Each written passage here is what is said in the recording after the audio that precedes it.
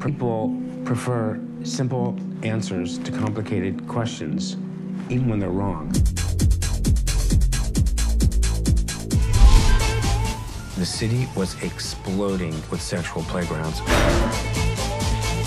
The drugs people are doing to have this amount of sex, Promiscuity was a dangerous activity. it was what we lived for. I remember thinking, something's changing, something bad is happening. This was the beginning of the end. This lifestyle, it's killing people.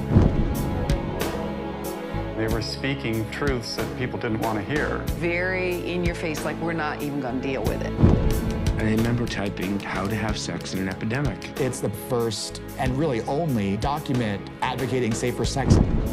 People talked about Richard's work as a sex worker. An S&M hustler who provided pain for a price. They're throwing theme parties like it's something happening on the other side of the world. Where are their ethics? Where are their brains? The idea that gay men would wear condoms was ludicrous. They were hated. You Got to realize the atmosphere of the time. We were called the Jerry Falwells of the gay community. Richard was lost for a few years to God knows. People should know who Richard Berkowitz is. He made safe sex sexy. And I was forever marked as like a self-hating enemy of gay people.